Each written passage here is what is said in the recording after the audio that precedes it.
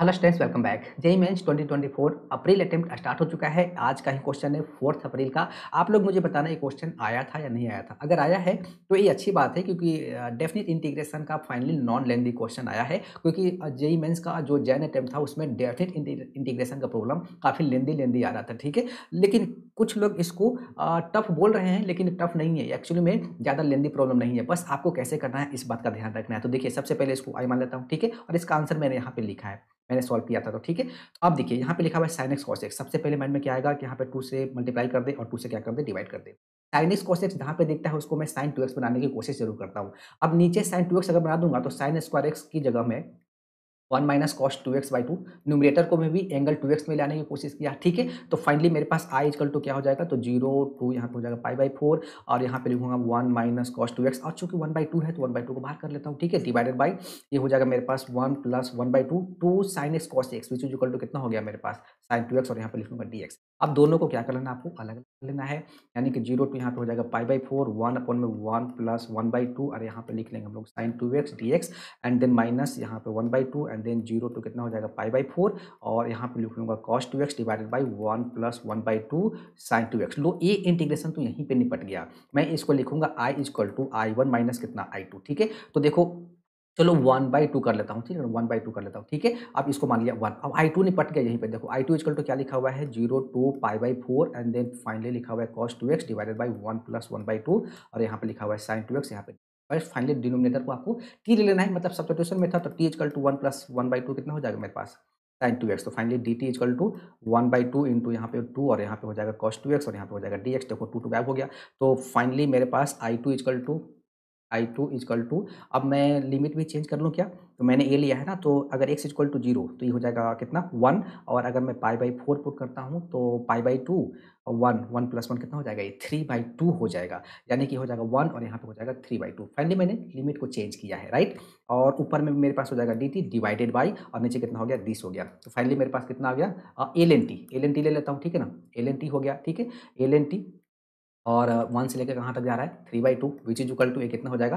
तो l n three by two and then minus कितना हो गया? एल एन वन और एल एन वन कितना होता है? ज़ीरो होता है। तो यानी कि आंसर कितना आ गया? L n three by two ये पहला हो गया। ठीक है?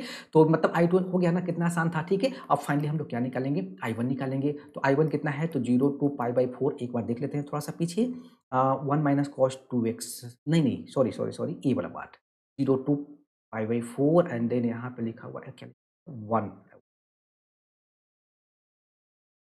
वन अपॉन दिस ठीक है? यानी कि यहाँ पे one upon one plus one by two और यहाँ पे क्या लिखा हुआ है? साइन टू एक्स यहाँ पे।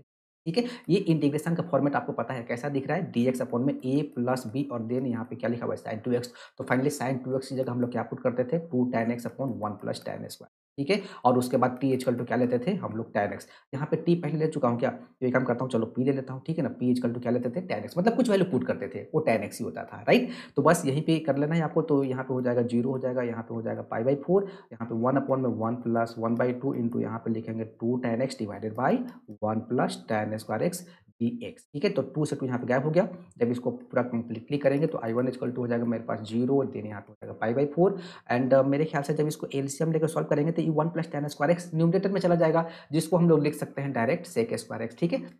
यहाँ पे आप ऐसे समझ लेना इसको मैंने ऐसे लिखा है, ठीक है ना? एंड डिवाइडेड बाई यहाँ पे हो जाएगा वन प्लस यहाँ पे हो जाएगा tan square x and then plus यहाँ पे हो जाएगा टेन एक्स और यहाँ पे लिखेंगे टी एक्स ठीक है ना? इस बात को आप नोट कर लेना राइट अब इसके बाद भी क्या लेना है? पी एच कल टू क्या ले लेंगे हम लोग? टेन एक्स में था तो डी पी एच कल टू कितना हो जाएगा? Sec square x sec square x और यहाँ पे लिख लेंगे d x finally I one is equal to limit में चेंज कर लें तो एक्स ज़ीरो पी ज़ीरो अगर x is equal to pi by four time by four one यहाँ पे हो गया। ऊपर में हो गया डी टी डिवाइडेड बाई यहाँ पे हो जाएगा one plus t square plus कितना? टी अब हो जाएगा कंप्लीटिंग द स्क्वायर देखो बेसिक सा था ना?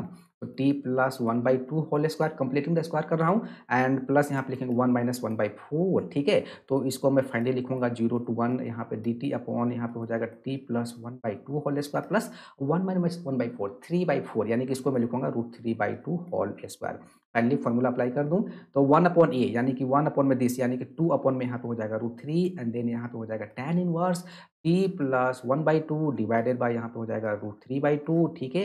And finally zero to one भाई वैल्यू पुट कर लेना है आपको upper and lower two upon three bracket यहाँ पे टेन इनवर्स यहाँ पे एक जगह डालता हूँ? वन तो one plus one by two कितना हो जाएगा? Three by two two two गायब हो जाएगा थ्री अपॉन रूट थ्री लिखा हुआ है यानी कि लिखा हुआ है रूट थ्री आफ्टर सिंप्लीफिकेशन ठीक है? ये आपको फटाफट ही करना है, ठीक है?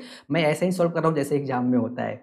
तो ये अब ये टी इक्वल टू ज़ीरो तो one by two two two क्या हो गया? टेन इनवर्स कितना हो गया? ये tan inverse one upon root three ठीक है? यानी कि टू अपॉन रूट थ्री ठीक है? अब यहाँ पे आपको डायरेक्ट वैल्यू पुट कर लेना टेन इनवर्स रूट थ्री और रूट थ्री का वैल्यू कितना होता है? तो मैं बताता हूँ आपको टेन कितना? टेन सिक्सटी यानी कि पाई अपॉन थ्री और ये जो वैल्यू होता है, कितना होता है आपके पास? टेन टेन थर्टी यानी कि पाई अपॉन सिक्स मतलब ए लिखा हुआ है pi upon three and minus a लिखा हुआ है दिस क्योंकि tan inverse tan pi by three equal to pi by three tan inverse tan pi by six equal to pi upon six यानी कि ये लिखा हुआ है मेरे पास टू अपॉन में कितना? रूट थ्री और इन टू ए कितना बच जाएगा मेरे पास? तो ये बचेगा मेरे पास पाई अपॉन सिक्स जो कि यहाँ से गैप करूँगा तो ये हो जाएगा विच इज़ इक्वल टू क्या लिखा हुआ है? Pi upon three root three और ए मेरे पास आ रहा है आई वन ठीक है? I one equal to a आ गया और आई टू हमारे पास कितना आ रहा था? I two is equal to l n three by two तो मेरे पास जो आंसर है, यहीं से लिख दूँ क्या? यहाँ से तो I is equal to one by two into I one I one क्या था? तो पाई अपॉन में three root three and then minus one by two I two क्या था?